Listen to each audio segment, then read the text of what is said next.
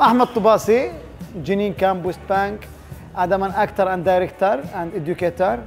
Uh, I study in Norway uh, and Belgium, but now I work in Palestine. It's very important to, to, tell the story, to, to bring the play to Pakistan because I think Pakistani people understand our uh, struggle, they understand our reality. We both been in the same colonization, British colonization land, so we know very well what is the situation. And for me, it's very important uh, uh, to come here with the play to bring a real Palestinian, a real story from Palestine to Pakistani people, and finally we meet face to face.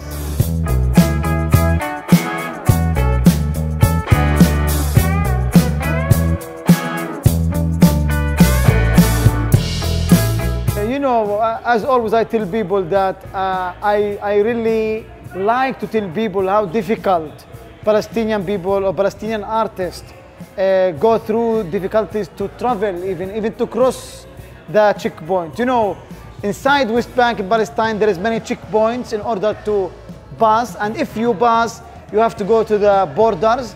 It's three borders. And if you pass the borders, you never know, like the borders is five kilos. It could take you four hours. It could take you four days. You never know. And even if you pass the borders, you have to go to Jordan, to Amman, to wait your flight next day. And then if you have a visa, if you are allowed to travel, maybe you take the flight and from other destination too. So for me, it took me four days to arrive to Karachi. Uh, and in the day I supposed to travel, it was invasion in the morning. Luckily they pulled out in the morning, so I took a taxi and run. But that's what I mean, you never know if you can go or not. So it's very hard.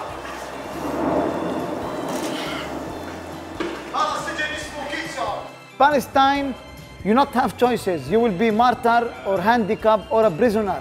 It's not our decision what we want to be in the future because the West, Israeli occupation, America, they draw our path.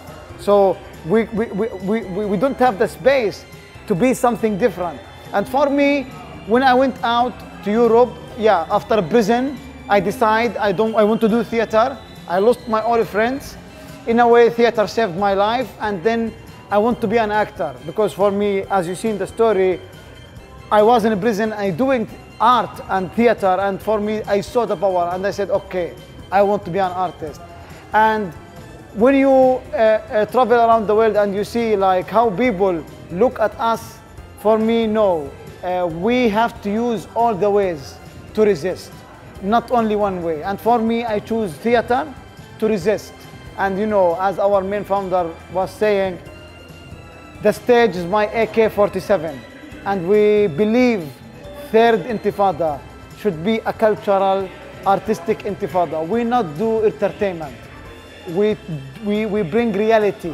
We bring politics, but through a personal story. So for me, yes, it's uh, very important. Yeah, for me, you know, it's uh, that's the Palestinian uh, like experience in a way we used for the emergency situation all the time. Uh, but for me, yes, um that's the that's the difficulties in Palestine that you have to have possibilities for anything could happen. And uh, even in the play, like I talk about my lost friends, like the second circle of my close friends which I lost. Uh, and for me, uh, when I see this kind of reaction from people that they really understand the story, they really was following, for me that's what gives me strength to continue. I mean, with all difficulties, for sure nobody knows how we arrived to this show, but even it's the uh, when you see the reception of the people, for me that makes me give me power and energy to continue even in difficult situation and do the play.